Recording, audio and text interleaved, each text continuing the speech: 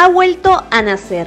Era despedida entre cánticos y alegría de la Villa Mongrut, a donde llegó el 8 de agosto necesitando oxígeno, pues el COVID-19 había atacado sus pulmones.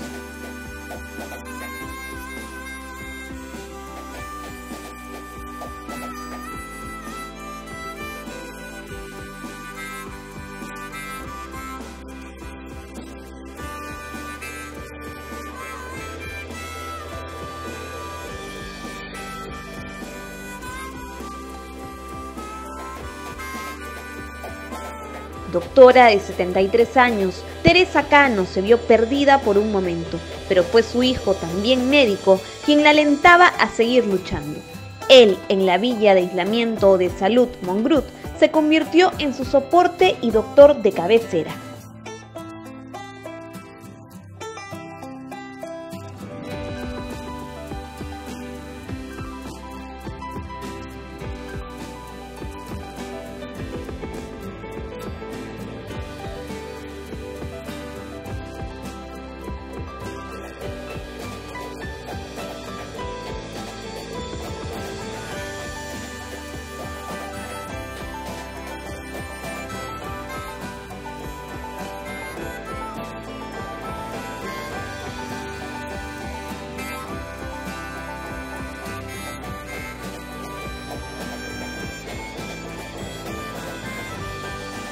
A lo largo de la pandemia, como Doña Teresa, en la Villa Mongrut se han logrado recuperar más de 2.700 pacientes que ya fueron dados de alta.